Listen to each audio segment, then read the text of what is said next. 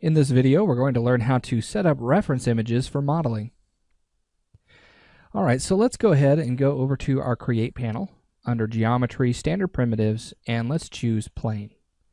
Go ahead and use the square creation method and left click and drag right here in the front view to create a square.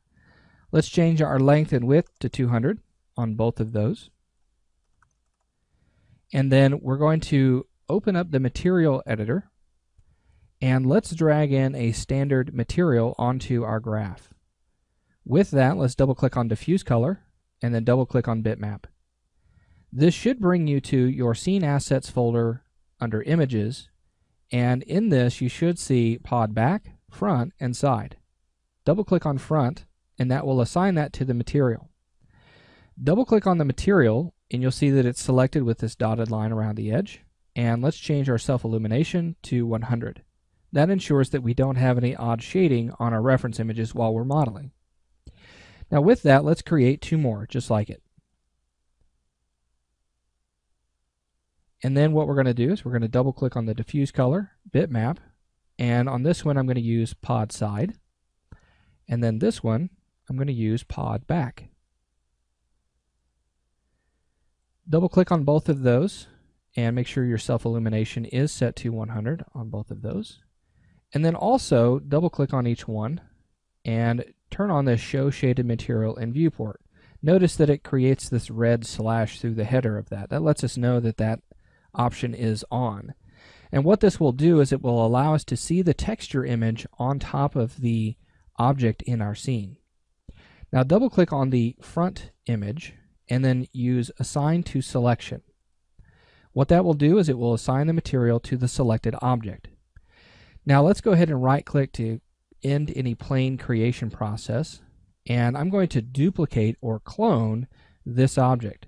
Let's turn on our angle snap and then turn on our rotation tool and then hold down shift and drag in the Z direction. Rotate that negative 90 degrees and then hit OK. With this one selected, let's go to our material editor and choose the side and then assign that. Let's do this one more time, holding down shift dragging that another negative 90 degrees. And then let's go to our material editor and let's assign the back material. Now all of these are jumbled up together and I want to separate them so we can model efficiently. So let's hit Alt and W on our perspective view and let's grab our move tool and let's start moving these away from one another. So with this one selected, I have plane 003 selected. That's going to be my back image. And so what I want to do is I want to move it um, to 0 in the X, and then I want to move it 0 in the Z. But then I want to do 200, actually let's do negative 200 in the Y, and that's going to push that out. Let's grab the front image. Let's do 0 and 0 in the X and Z, and then 200 in the Y. And then this one, we're going to do the same thing, except I'm going to do 200 in the X and then 0 in the Z. Now you'll notice one thing. The front image is facing in this direction, but the profile image is facing in the opposite direction.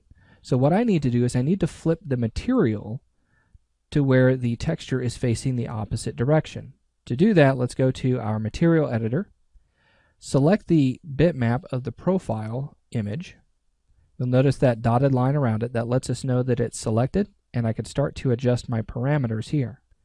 Let's adjust the tiling in the U direction to negative 1 and you'll notice that it flips the image.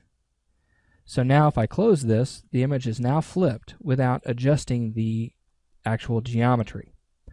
Now the reason that I want to do that is because I want to select all of my objects and I'm going to right click and go to object properties.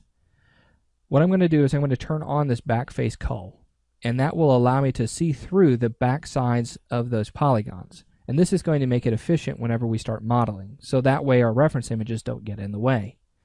I also want to turn off show frozen and gray and then I want to freeze those objects so that way we don't move them by accident while we're modeling. Let's hit OK. And now all of our images are in place. Now the final check that we need to do is to make sure that our reference images match up the viewports as we start switching between those. So here we're in the perspective viewport. Let's hit F on the keyboard to go to our front viewport. Now you'll notice here that I can't see anything, so let's hit F3 and that will show me my image in the front view. Go ahead and hit G to turn off that grid. Let's hit L to go to our left view and F3 to show that, and then G to turn off that grid. That looks great. And then let's go to our back view. To do this, we'll hit V on the keyboard and then K, and that will show us the back view. So everything is looking great. Front for F, L for left, and then VK for back. And then P to go to the perspective view again.